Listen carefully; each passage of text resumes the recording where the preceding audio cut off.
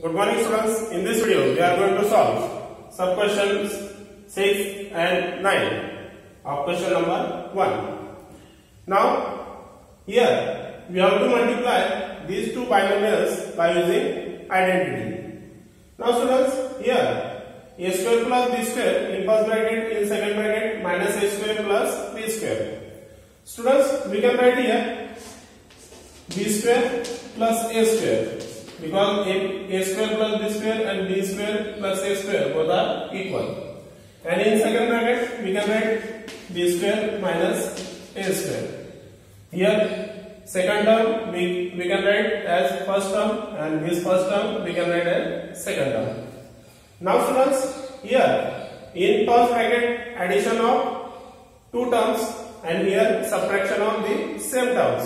Therefore here we can apply third identity. Therefore by using third identity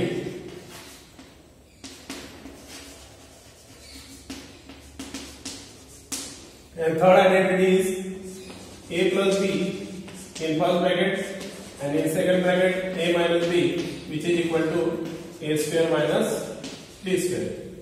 Now students if in this identity if we put a is equal to b square and b is equal to a square then put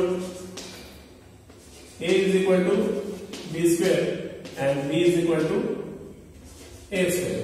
Here first term is b square, therefore a is equal to b square. Here second term is a square, therefore b is equal to a square. Then, therefore a plus b, therefore b square plus a square in first bracket. And in second bracket a minus b, therefore b square minus a square. Now students, RHS part.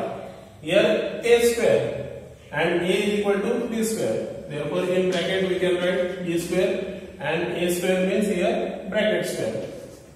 Now minus here b b is equal to a square. Therefore in place of b we can write a square and here b square means here bracket square.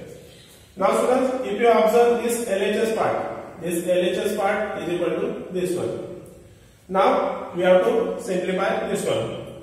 Now students here bracket here power raised to power. Therefore here we have to use exponent and power rule.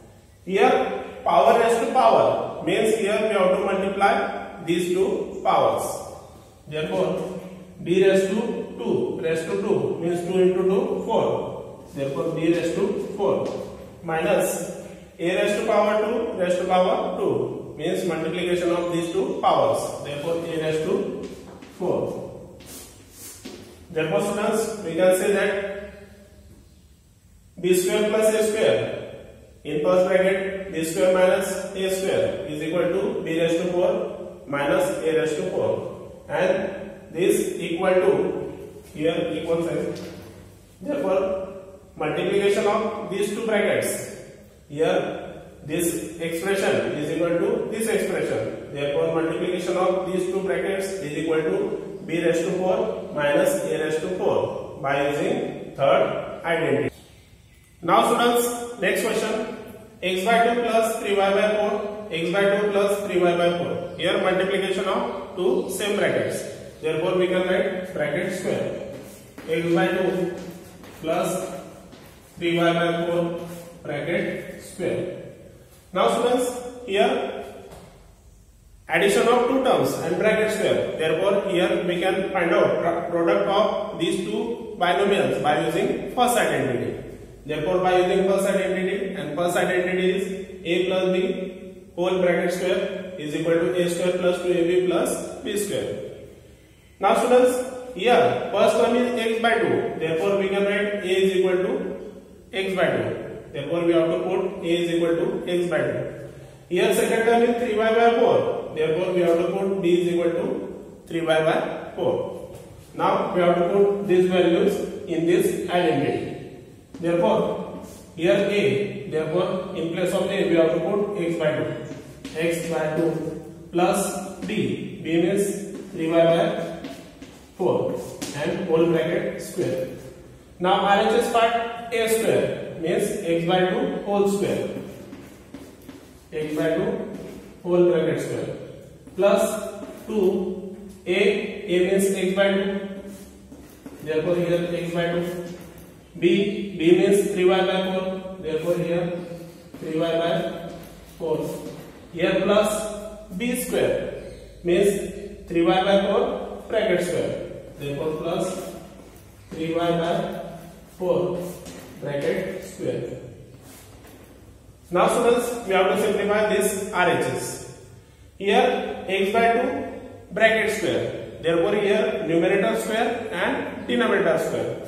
Therefore we can write here x square means here x square 2 square means 4 2 into 2 4 now here 2 2 cancel here multiplication of three monomials. Therefore, 2 2 cancel.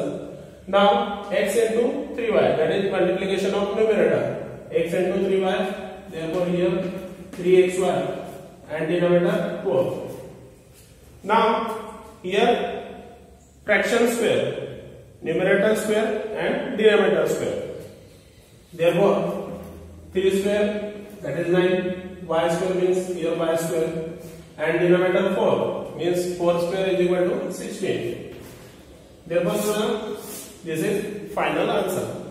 Therefore, student, we can say that multiplication of these two binomials is equal to x square by 4 plus 3xy by 4 plus 9y square by 16. Students, in this way, we can multiply given two binomials by using identities. I hope it is clear to you. Thank you and have a nice day.